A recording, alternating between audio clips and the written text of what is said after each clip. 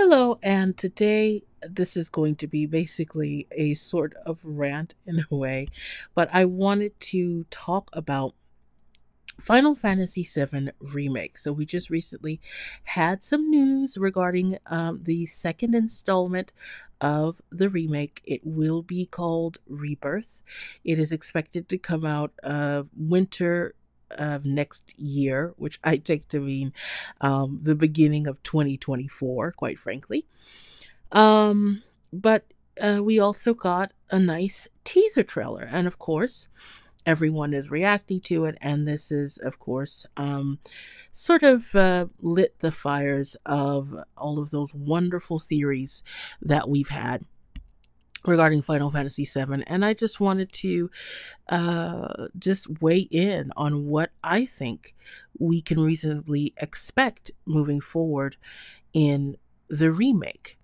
Um, now, uh, I will say that this will definitely involve spoilers. So, for those who are not familiar with the original story or who don't want spoilers, be warned.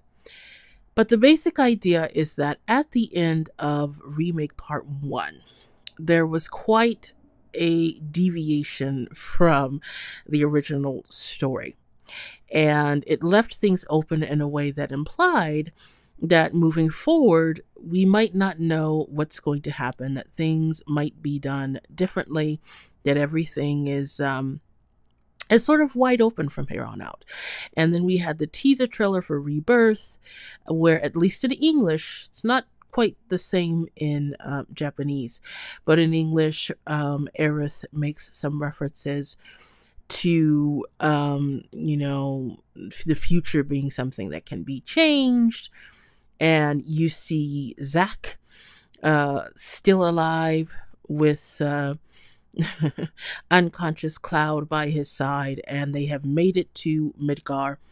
And all of this kind of implies for some people that things are going to be very different moving forward in uh, the remake, and that Square is just going to drastically deviate from the original story. So I do not agree at all. I don't think that that's actually what's going to happen. I do think that Square wants us to wonder if that's what's going to happen. I think they are in certain ways suggesting that that might happen, but I don't really think that that is going to happen. And I don't think it's likely. And to me, it doesn't really make a lot of sense. It makes a lot more sense to me that Square is just being square, having fun, toying with us, but that really, as they've said many times, this remake is going to be a reasonably fairly faithful uh faithful remake in the sense that I really do think that all of the major important moments are still going to be here. I really don't think that it's going to be a drastic departure from what we already know from the original. So I just wanted to kind of break down why I think that I'm right, basically. So, first things first, as I've mentioned, I mean, the devs have said themselves several times that they uh, intend to stick to the main story beats of the original. They've said, you know, we uh, this is still Final Fantasy VII. We're still going to have all of the iconic moments that fans know and love. You know, don't worry. Um, those will all still be there. And they've said it numerous times in numerous interviews. Numerous developers have said it. And I think that they're actually telling the truth. I think that um, they've decided to just be straightforward and honest as far as their t- intentions. And um, it is what it is. I think they really they really mean that. Um and they're kind of showing their hand and just letting you know, hey, we don't plan to really make any um really significant changes, things that would significantly change what Final Fantasy VII is about. Uh, but of course, the facts that the devs say something, no, doesn't mean that it's true.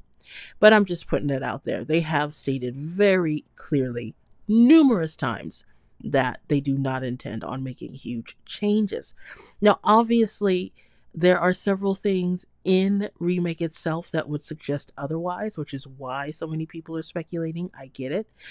But my position is that these are just red herrings. Square is just toying with us. And this is very on brand if you think about it. So just think about the original story of Final Fantasy VII.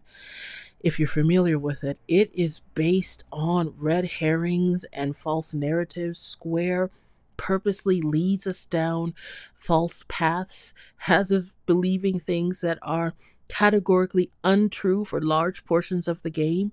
I mean, Final Fantasy VII itself is based on these themes of false identity and misunderstandings.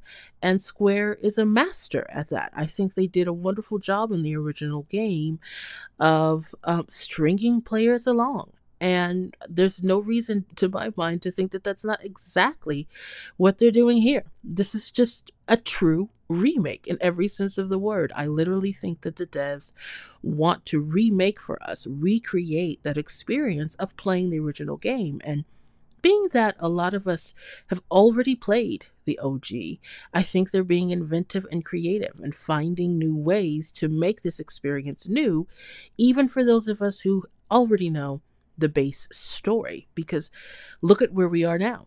You know, those who have played the OG and those who haven't, we're kind of um, on equal ground and that none of us are 100% sure where things are going. And that wouldn't be the case if they had stuck to the original story religiously, if it was literally a very close one to one adaptation with no sort of um, surprises. We just be sitting there going, I know what's going to happen next. So I actually think this was a brilliant move on Square's part. I think they have every intention of sticking to the original story in all the ways that matter, but they just wanted to make the experience for those of us who already know the story a little more exciting. And when I think about it, I think it's extremely daring, extremely ambitious, and it kind of fills me with hope because it makes me feel like they're not just sleepwalking through this, that they're really passionate about this after all this time. They still have a lot of passion for this project. And I think they're shooting for the stars. They don't just want to make a good remake. I think they could have perfectly done a one to one remake with no real mystery to it. And a lot of us would have been perfectly happy and it would have been wonderful. But I think they're willing to risk it and go further and give us a ride kind of recreate that experience of playing through the OG for the first time when you're not sure uh, what's going to happen, where there are moments where you're confused, where you're not understanding exactly what's real and what's not. And I literally think they're trying to kind of give us the gift of experiencing the ups and downs and the uncertainties that, you know, some of us experienced the first time around and i think that's brilliant. But i think that's all that that's all this is. I don't think there are alternate timelines. I don't think that zack survives. Aerith certainly is not going to survive. Like i said spoiler alert. Um no. All of those things are going to um, all of the things that happened in the original of note are going to come to pass. They just want to take us on a little journey before we get there. Um, now, I really think there are just some basic common sense reasons why it wouldn't be in Square's best interest to try to throw huge wrenches in the original story. Now, to be clear, uh, there have been already changes, right, as of part one. But I'm talking about these core changes that, in my opinion, would fundamentally change what Final Fantasy VII is about. So, what is Final Fantasy VII about? Well, it's about a lot of things, but I think definitely it is of course about cloud's journey his journey of discovery coming to terms with his true identity I think it also deals with the theme of loss. I don't think we know that this is a fact. The theme of loss. The fact that death is a part of life and coming to terms with that. And I think that if you mess too much with those sorts of fundamental themes, you're messing with what made Final Fantasy VII what it was. So let's talk about that because a lot of times when people say that there are going to be huge changes moving forward based on everything we've seen, often this idea of, you know, will Aerith survive? Is Zack alive? Those are two key questions. And to my mind, it just really wouldn't make sense to have Aerith survive. It wouldn't make sense ultimately to have Zack survive. Now, first of all, uh, if we talk about Zack, I just think it would be really convoluted to commit to that sort of alternate universe sort of uh, thing where there's this alternate reality, uh, alternate timeline where Zack is alive. And so now you have these two timelines going on at the same time. And I just think it would be so convoluted. Uh, it's been done before. I don't think it's usually done well. And so Square would just be making a um a huge headache for themselves. They already have a huge challenge ahead of them. I'm sure it's already stressful. There's a lot to cover. Final Fantasy VII story is already very involved. And to layer on top of all of that, all the uh, locations, all the characters, all the themes, all the story points, on top of all of that, to try and fit in this convoluted time travel alternate timeline mess, I don't know why you would want to do that. It just doesn't make any sense. Um, so, uh, just in a practical sense, I, why why would this really be seen as uh, something worth doing? And now we know it's been confirmed that uh, remake is going to be a three part endeavor. So they only have three games in which to do everything they need to do. So they're going to need to be uh, pretty careful with how they use their time. And again, uh, adding in this convoluted alternate timeline mess, I just don't think that it makes sense. Uh, alluding to it, putting it in there as a false sort of uh, herring, a red herring, okay. But actually carrying it out, mm, I don't think that would be too wise. And I'm giving Square the benefit of the doubt and assuming that they know better than to go down that very very messy route. So, first of all, just from a practical point of view, convoluted. Also, when it comes to Aerith, for example, both Aerith and Zack, I think that their deaths are really important to the plot of Final Fantasy VII. I think they're really important to the themes of Final Fantasy VII.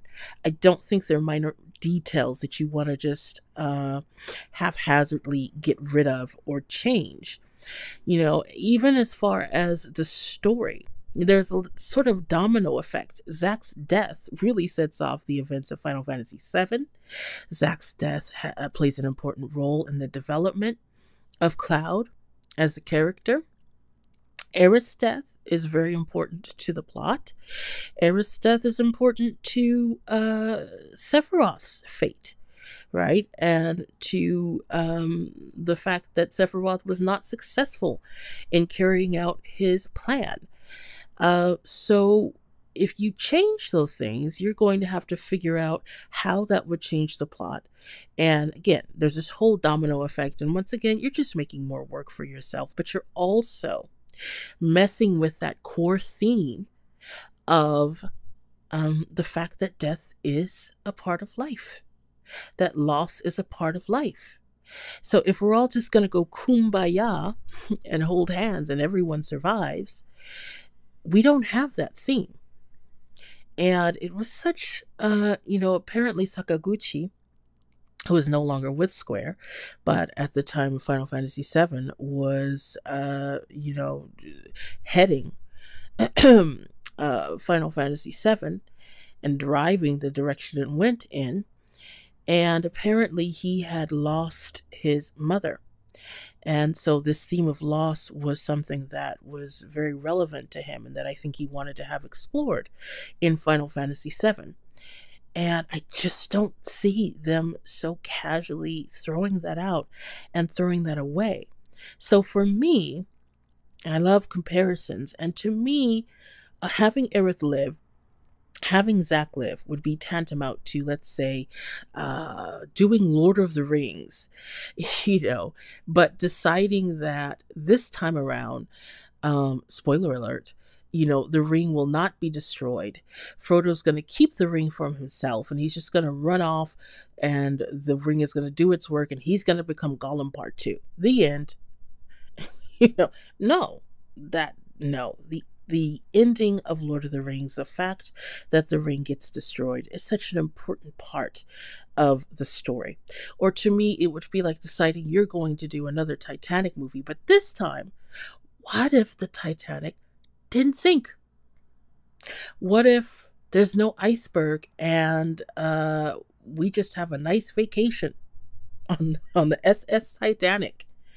No, then it's not the Titanic, is it? What is the point of telling the story?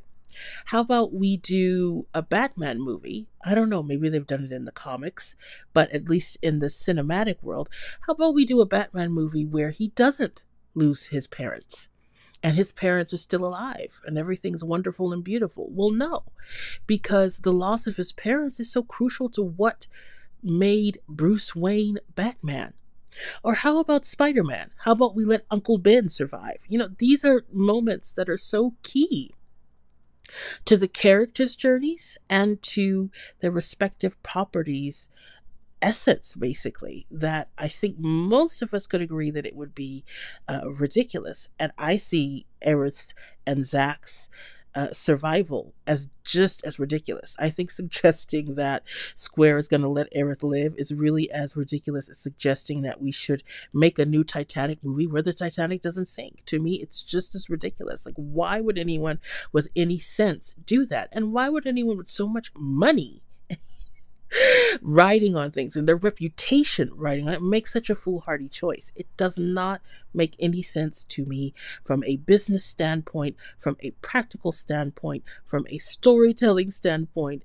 It just, it, it, it why? That would, why? They could do it, but why would they be foolish enough to do it? And and just to make it clear, this has nothing to do with our feelings about these characters or whether we personally want to see them go it has to do with staying consistent with uh, what you created um, you know in that core sort of way. And as for Zack's death obviously um, it's not surprising that people are saying that zack lives because that's what we're shown. We're literally shown, for example, in the latest teaser trailer, Zack arriving in Midgar with poor unconscious Cloud by his side, and he looks very much alive. So I get it. Um, Square is definitely leading us down that path. I'm just saying it's a red herring. And there is a theory that I heard a while ago. And ever since I've heard this theory, it stuck with me. It made sense. I went, I think that's it. So some people are guessing that Zack is indeed dead. He died back there in his altercation with all of those grunts. He never made it to Midgar. But what we're seeing is maybe some sort of um oh, some sort of purgatory, some sort of in between as Zack uh, crosses into the land of the dead. And he may believe himself to still be alive, but he indeed is not. He never made it to Midgar. What we're seeing is not reality. And I, I could see Square going down that route that allows us to spend some time with Zack who is definitely a beloved character. I love Zack, he's a wonderful character. And yet it doesn't impact the overall story. And it also gives Square the benefit of sticking, you know, sort of sticking it to us a second time, getting our hopes up, leading us to presumably believe that Zack is alive, only to find out that nope, he never made it. You know, I think if done well, it can be really impactful and I think that's what, um, to, to wrap this up, I think that's what Square is going for. I think that the theme of this remake is going to be much like the major theme of the original, is that, which is that um, there are some things that you just can't avoid that sometimes uh, we will lose loved ones, that heroes don't always make it, they don't always survive. And I think that's going to be reinforced this time around because there is the theme of fate. And there is going to be that message that even if you try to avoid fate, even if you think you can do things differently, even if you think you can avoid certain things, they're unavoidable and it leads you back to your original path. And I believe that that's what's going to happen in this remake. It's leading us right back to where OG led us. But if done well, maybe it's going to be even more impactful. Maybe for some of us, it's going to be like losing these characters a second time. And characters in the game, uh, we're going to watch them have to learn once again that sometimes you have to let go. I really think that's what Square is going for. Whatever they're going for, I just hope that they do it well. If you do it well, you can get away with a lot. So please, Square, don't mess this up. Please. Please.